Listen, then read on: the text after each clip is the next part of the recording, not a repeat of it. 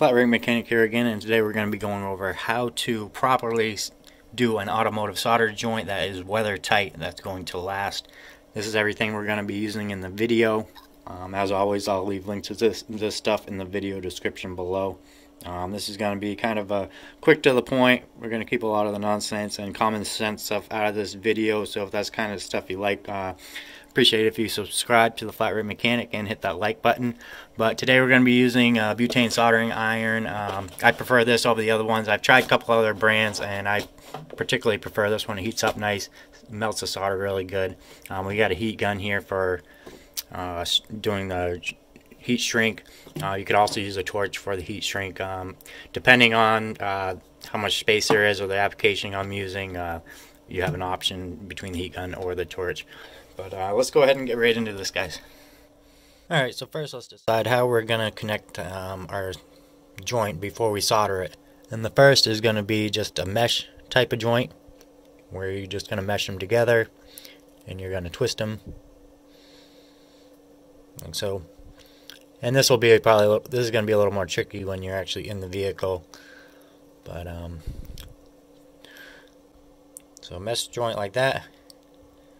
And anytime anytime you're making these joints, I always want to make sure that you don't have any protruding um, edges that are sticking out along here. Um, our second type of joint is going to be a lineman's joint, they call it. This is where you're actually going to twist the wire around the outside like so which isn't a bad option either um, a lot of times I don't like I don't prefer using this method only because a lot of times you're stuck with the wire strands sticking out.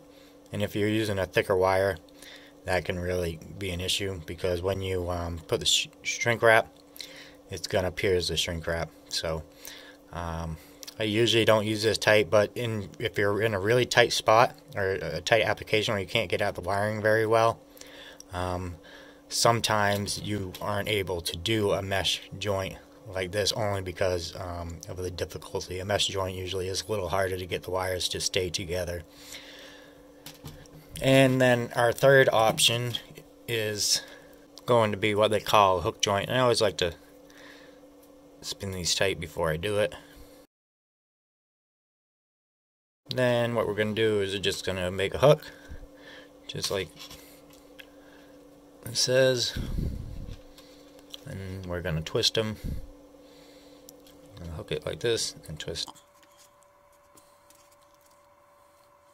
Now very rarely um, do I use this type of joint, but it definitely wouldn't be a bad idea to use this if you're using it on, um, say, uh, a connector that's going to be used repeatedly. Um, like if you're plugging or unplugging it a lot amount of times, and you, you might may get some tugging. Um, this is going to be a very strong connection that you don't have to worry about getting pulled apart. So if it's going to be an actively moving wire, um, this hook joint is uh, uh, that'd be a good application for this. Okay, as you can see, we got our wire all set up here, and um, I went ahead and took some flux here, some flux paste, and um, I went ahead and put it on the wire. It's just going to help that solder pull into the wires much better. Always a good idea to use some extra of that. And we're going to go ahead and tin the tip of this. Um, usually I like to put a little bit of the flux on the tip as well. Like so. And um, we're going to go ahead and get this thing heated up and you'll see how fast this heats up. it does much better than a lot of the ones I've seen in the past. see there. And Get it to focus very well.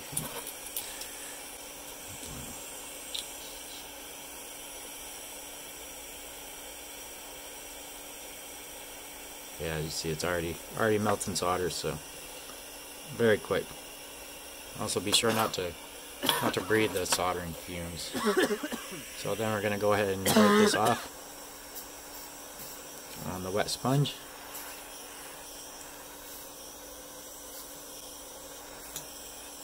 And you can see we got a nice shiny surface there. So our tip is all nice and tin. That's just going to make for a nice clean solder joint. It gets all the oxides off of there. And then the main thing you're going to want to do with soldering, rather than melting the solder on the top and dripping it down into the wire, like this, um, you're going to want to heat the wire itself up until the actual solder melts into the joint.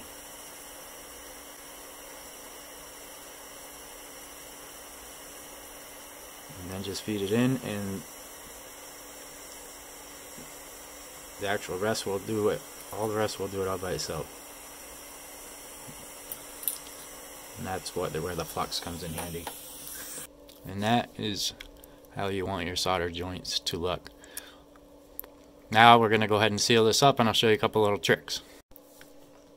Alright so to make sure we have a nice seal on this um, I have our heat shrink around the outside but we're also going to take it a step further and we're going to apply some dielectric grease now a lot of these heat shrinks here, um, you'll have to check when you're purchasing it, um, come with a glue or a sealant inside that will actually heat and seal when you shrink it. But I still always like to use um, some dielectric grease on it as well. You're just going to do it, put it over the solder joint. And then going to go ahead and shrink this. Now you can use your torch to sh shrink it. Um, you can use a heat gun to shrink it. But I am actually going to use my soldering iron adapter, uh, as you can see right here, to shrink this. Alright, so we got it all heated up here and you can see the dielectric grease is now starting to come out the ends.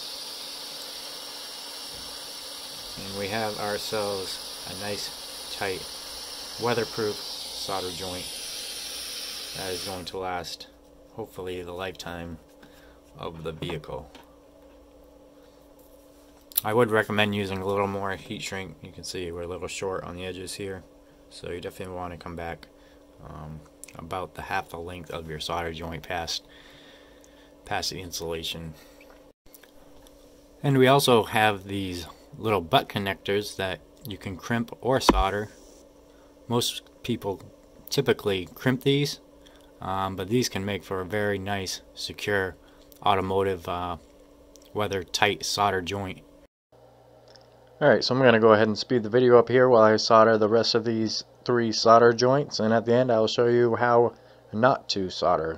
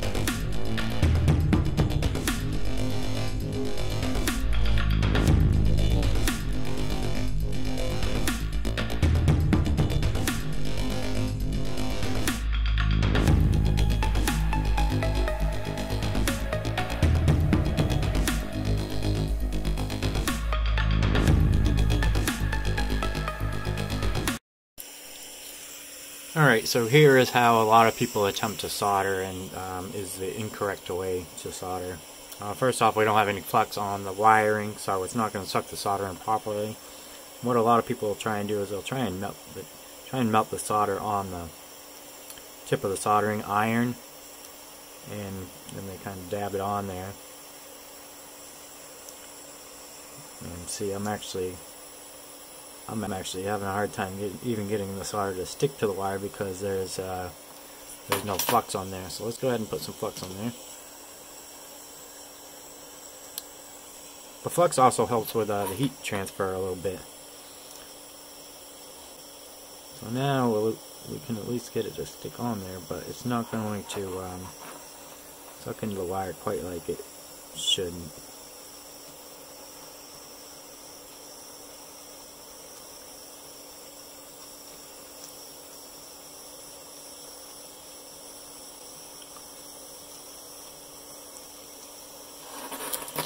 Alright, so there is how you should not do a solder joint. And as you can see on this we also have some uh, protruding wires and when it was stripped it looks like one of the wires was also um, damaged as well so this is what you want to try and avoid and to avoid this all you have to do is um, heat up from underneath with a good amount of flux. Alright guys, so here's all the approved solder joints we used in the video. I hope I hope this was helpful and as always the products I used will be in the video description below. Be sure to hit that thumbs up button and subscribe to the Flat Rate Mechanic.